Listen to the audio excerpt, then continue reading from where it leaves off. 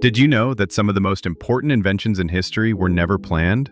They happened by accident. Here are five accidental discoveries that changed the world forever. It started as a medicine. In 1886, a pharmacist named John Pemberton was trying to make a tonic to relieve headaches and boost energy. He mixed coca leaves, cola nuts, and carbonated water, and accidentally created a sweet, fizzy drink. The result? Coca-Cola. What began as a failed medicine is now the most famous soft drink in the world. Leo Baekeland wasn't trying to change the world. He just wanted to find a better insulator for electronics. In 1907, he accidentally created a synthetic material called Bakelite. It didn't melt, didn't conduct electricity, and was easy to shape. That material became the world's first true plastic. Today, plastics are everywhere, sometimes too much so.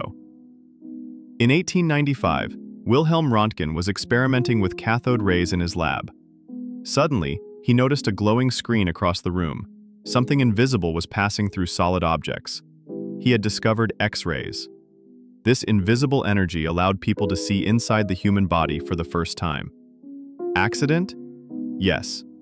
Revolutionary? Absolutely. Which one surprised you the most? Let us know in the comments, and don't forget to subscribe for more amazing facts from Earth Dialogue.